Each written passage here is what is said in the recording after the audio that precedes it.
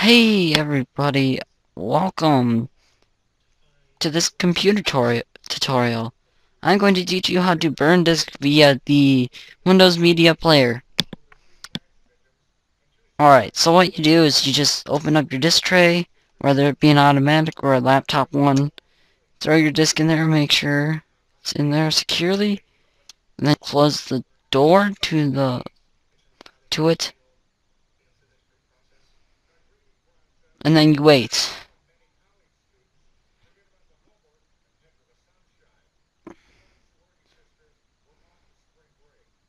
Now you click this option.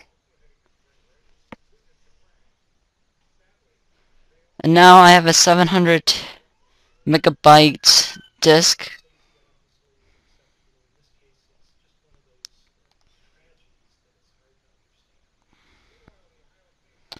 So now you are free to throw on whatever you want to throw on.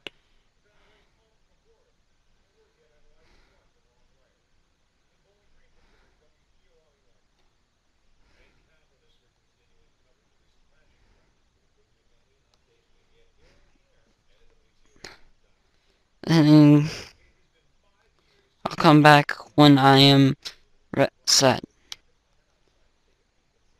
Alright, now with this step, you simply click the button that would originally be here that said start burn.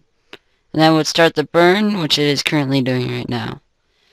And when it's doing this, you kind of do not want to disturb your laptop or computer while it is running.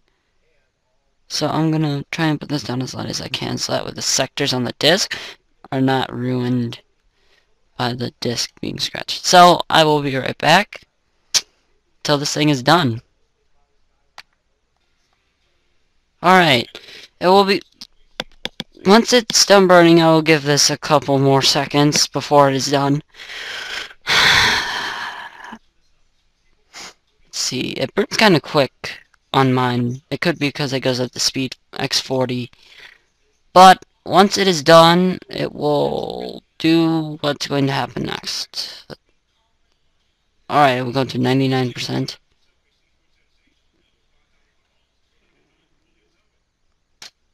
And it will pop out the CD.